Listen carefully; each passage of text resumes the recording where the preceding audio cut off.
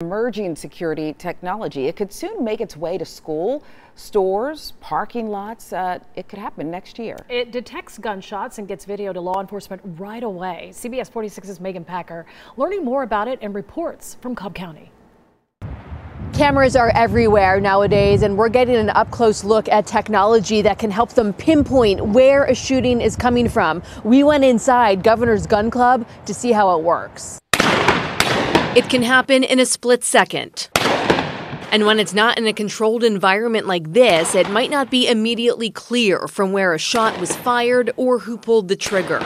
But look up. This device could change that. We're saying we're going to deliver you the active shooter information within 10 seconds, give you uh, 10 seconds of video, and then deliver that to you. It's called the Octashot 360 system. It's a sensor that detects gunshots. Lifestyle Automation and Security makes it, and their team showed us how it works.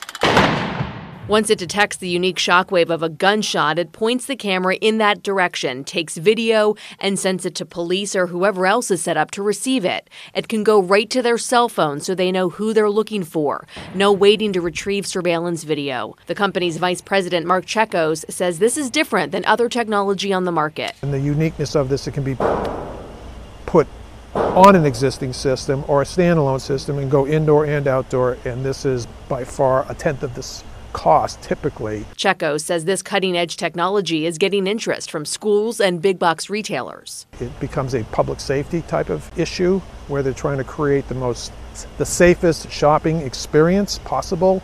And, and now that this technology is available to either add on to their existing video systems that they already have or out in the parking lot. An added layer of security this company hopes is a game changer in the industry that brings peace of mind. I mean, years ago, they didn't have fire systems. Now every single building has a fire system.